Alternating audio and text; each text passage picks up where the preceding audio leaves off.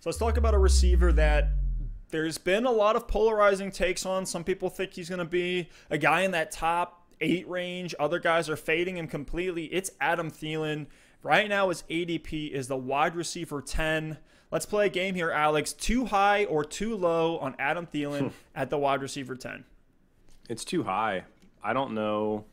And, the problem is, it's just the ADP. I like Adam Thielen. I think he actually is going to bounce back this year in a sense, but at wide receiver 10, that is ridiculous. And it depends where you're drafting. I know some areas, some sites have him as low as like wide receiver 14 or 15, but either way, it's too high for me because there are so many guys in that same range that I'm taking over him. I'm taking Allen Robinson, Odell Beckham, Amari Cooper, DJ Moore. I'd much rather have any of those guys than Adam Thielen last year he was banged up. He only played 10 games. He had 30 receptions, 418 yards, and six touchdowns, which is not necessarily great even in 10 games.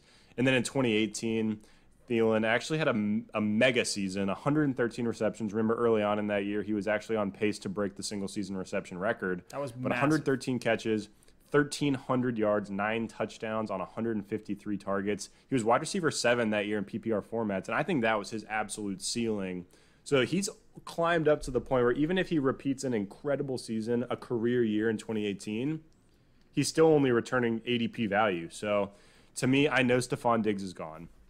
94 targets gone. But I, I just don't see the upside there for Adam Thielen. Two seasons ago in 2018, when he went off, the Vikings threw the ball 606 times. Last year, they only threw the ball 466 Third times. lowest. So, I mean, there's, yeah, so for me, it's tough because I don't think it's going to be as low as 466. I think the volume does go up next year, but it's not going to be 606. I think it's somewhere in the middle. And with Justin Jefferson coming in, um, you know, with Irv Smith potentially breaking out, things like that, I, I just don't know that Adam Thielen has the upside to be drafting him as a low end wide receiver one. Stef, what's your take? Too high or too low?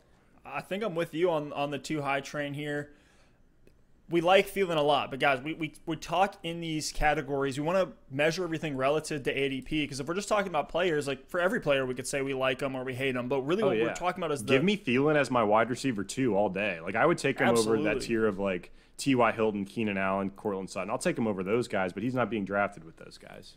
And I'll talk about where I think he should be in terms of ADP. But there's something I want to talk about here for a second. It's something I'm seeing more and more. It's it's this I don't know if it's a it's a misunderstanding or just the the age old kind of cliche of like too many mouths to feed. But a lot of fantasy players and even some analysts that I'm seeing, they're not really displaying a good understanding of, of the slot position and where that efficiency comes from. The slot is only an advantageous position when the defense gets stretched with X and Y receivers because they're able to then get into these defensive mismatches with the third string corner, with linebackers that don't have the speed. Those are more bigger body guys that can't keep up with a pure speed, so that you're going to put in the slot, like a Juju Smith Schuster, like a Tyler Boyd, even like a Golden Tate.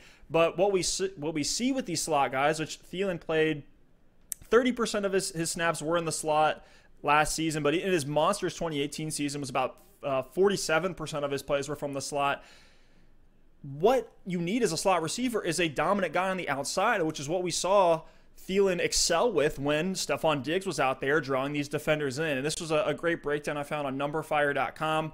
It was a breakdown showing splits between Adam Thielen with and without Stefon Diggs on the field. And when Diggs was out, Thielen was seeing more volume. He saw two more targets a game, almost uh, two more receptions per game. So the volume went up but the yardage actually slightly decreased. So it's not like he's getting all this volume and it's going to be highly efficient without a Stefon Diggs or without a Justin Jefferson that can emerge.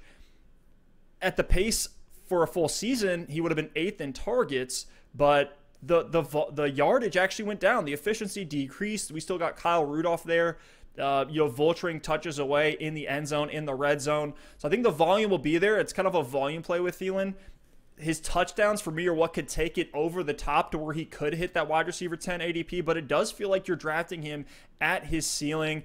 And the volume gets capped again by how little the Vikings actually pass the ball. We talked about it. They third lowest in terms of pass plays last season, 31st in terms of pass plays per game. Then you add in the hamstring, the reoccurring like soft tissue, tissue injury that Thielen has.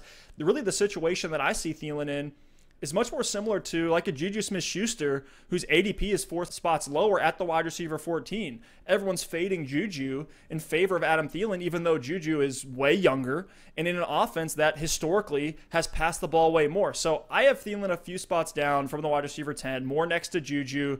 Um, like I said, he's in that that you know high end wide receiver two range. That feels a lot better to me. And we'll see if Thielen can get there this season. Like you said, if he's your two, absolutely love him there. Yeah, and you know it's tough because earlier this offseason I really was kind of hyping up Adam Thielen, like bounce back player potential. And I have him as a, a high end wide receiver two, and it's tough to now be fading him at his ADP because I guess everyone else was with me for the bounce back. I really thought coming into drafts, people would be fading Adam Thielen a lot more, and he would be more of a value. But he's right up there towards the top, so that's disappointing. And I know the volume's a concern, and it, what you said about Stefon Diggs is great too. And it, the good thing for Thielen is they did bring in Justin Jefferson, who's not going to walk in and be as good of a player as Stefon Diggs was right off the bat.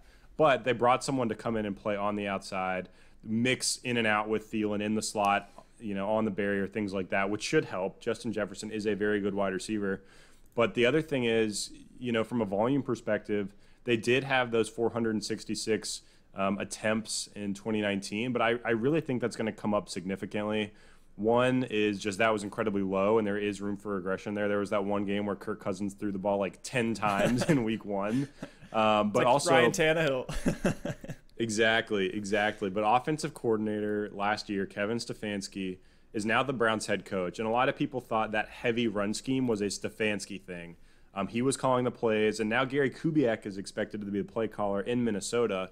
And Gary Kubiak as the play caller is significant because he loves passing the ball. And I know some of this, you know, is, is due to the scheme and things like that. And I don't expect the Vikings to totally change their offensive scheme and what they want to do.